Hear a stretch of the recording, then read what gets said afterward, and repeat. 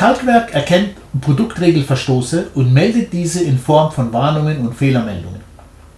Zum Beispiel, wenn ich jetzt hier eine kleinere Leistung eingebe, erhalte ich eine Warnung, so ein roter Balken, und die Fehlermeldung heißt Motor zu klein, minimale Größe muss 180 sein.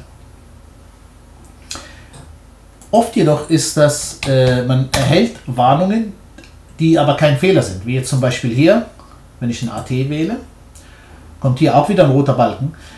In dem Fall ist kein Klemmkasten da. Das ist allerdings kein Fehler, sondern diese Baureihe oder diese Produktreihe kommt standardmäßig ohne Klemmkasten. Wir haben es auch bei einem äh, Kunde so gemacht, dass wenn man ein Produkt hat, das keine äh, Artikelnummer hat oder die, wo die, wo die, wo die äh, Artikel nicht von dem Warenwirtschaftssystem kommen, war es auch mit dem roten Balken, weil hier ist unbekannt, ob der Preis noch aktuell ist. Ja, weil viele, viele Teile äh, in, de, in dem Warenwirtschaftssystem waren die Teile immer auf dem aktuellsten Stand, die Preise, Gewichte und so weiter. Aber äh, äh, äh, Sonderteile, die nicht im Warenwirtschaftssystem drin waren, die Preise davon waren unklar, sind die noch aktuell und so. Deswegen war hier eine Warnung.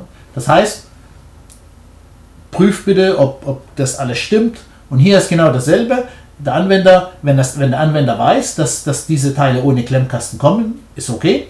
Wenn er es nicht weiß, dann wenigstens hatte ich eine Warnung und kann immer noch jemanden nachfragen oder Rücksprache mit jemandem halten und fragen, äh, warum die Situation so ist. Auch eine andere Warnung ist hier, wenn ich jetzt ein ATE nehme und Baugröße 800, dann kommt diese Warnung, nicht geprüft. Hier auch, wo gilt diese Norm? Für das Angebot, das ich jetzt gerade erstelle, gilt die Norm.